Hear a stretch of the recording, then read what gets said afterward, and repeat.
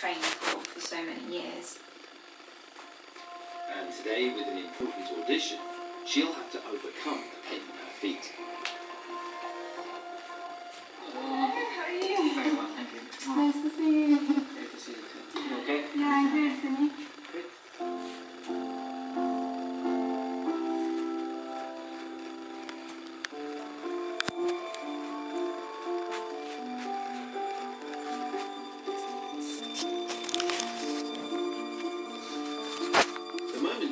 On point, the nerves around her injured feet send pain signals to her brain.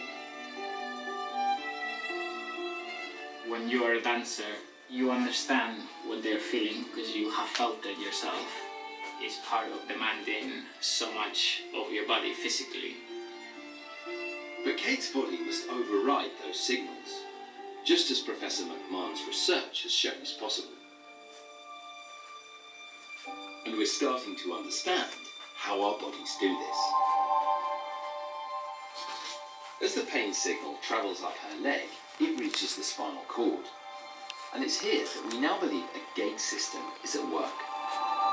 Normally, the signal would be transmitted to her brain and register as pain. But the gate can be closed by certain signals travelling down from the brain. Whether by concentration, distraction, or even feeling good. These can close the gate and stop pain signals from Kate's foot getting any further.